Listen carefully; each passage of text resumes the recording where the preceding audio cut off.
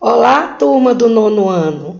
Hoje vamos estudar sobre o imperialismo na Ásia e na Oceania. O imperialismo do Japão investiu na indústria, no sistema de ensino, estabelecendo acordos em potências europeias e nomeou esse período de Era Meiji.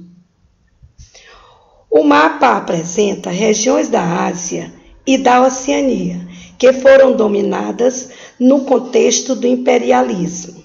A China foi liderada por muitas dinastias. Havia uma pressão sobre o comércio do Ocidente, principalmente o ópio, enquanto que na Índia, franceses, portugueses e ingleses exerceram grande domínio comercial com o Oriente.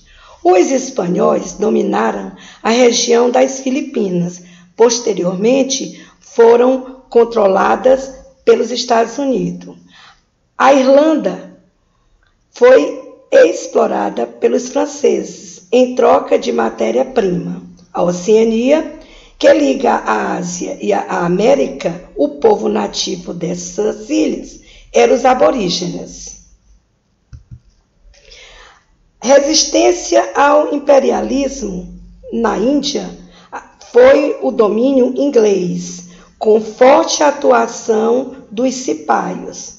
No século XIX, o povo Nandi se organizaram em um exército armado contra a construção de uma ferrovia em suas terras. Também o povo Zulu, como mostra a figura, levaram contra a dominação, lutaram contra a dominação inglesa.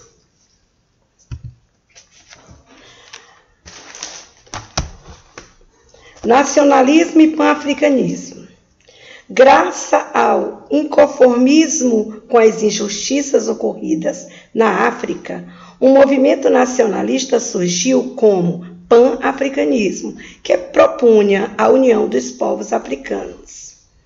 Obrigar Obrigada pela atenção.